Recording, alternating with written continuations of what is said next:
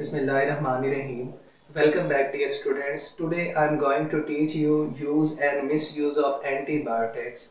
Antibiotics हम कहाँ से ऑप्टेन करते हैं इसकी सिलेक्शन कैसे की जाती है और अगर इसका मिसयूज हो तो फिर कौन से साइड इफ़ेक्ट्स का सामना करना पड़ता है तो सबसे पहले हम देखेंगे हमारे पास जो एंटीबायोटिक्स है, ये ग्रीक वर्ड है और दो पार्ट्स पर मुश्तमिल है पहला एंटी मीन अगेंस्ट और बायोटिक मीन लाइफ यानी ऐसा केमिकल जो लाइफ के अगेंस्ट है बैक्टीरियल लाइफ के अगेंस्ट यानी ऐसा केमिकल जो बैक्टीरिया को किल करने की सलाहियत रखता है, इसे हम एंटीबायोटिक्स कहते हैं। ये एंटीबायोटिक्स हम कहाँ से ऑप्टेन कर सकते हैं?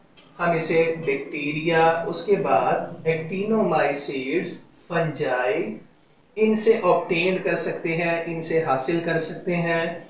इसे लेबोरेटरी के अंदर भी सिंथेसाइज किया जा सकता है। लेकिन इनका ओरिजिन लिविंग सेल है, यानी लिविंग सेल बाय नेचर इन्हें बनाते हैं और बनाने के बाद इन्हें सक्रीड करते हैं, वहाँ से हम एंटीबायोटिक ऑप्टेन करते हैं। अब इसकी सिलेक्शन कैसे की जाती है? इसके मोड ऑफ़ एक्शन का पता होना चाहिए। ये पता होना चाहिए कि ये कैसे असर करता है। और इसके साइड इफ़ेक्ट या एडवर्स इफ़ेक्ट का भी पता होना चाहिए।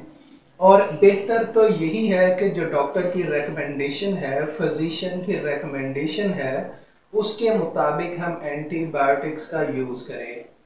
तो डियर स्टूडेंट्स हमने इसकी सिंथेसिस उसके बाद सिलेक्शन और अब मिस यूज़ को देखना है कि अगर एंटीबायोटिक प्रॉपर हम इनटेक नहीं कर रहे तो फिर इसका नुकसान क्या हो सकता है?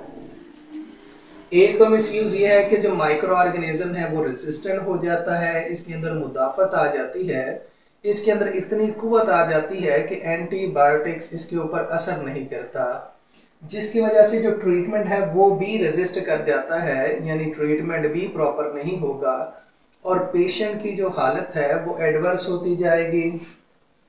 ये एंटीबायोटिक्स मेटाबॉलिज्म से इंटरफेयर करते हैं जिसकी वजह से पेशेंट की समटाइम डेथ भी हो जाती है।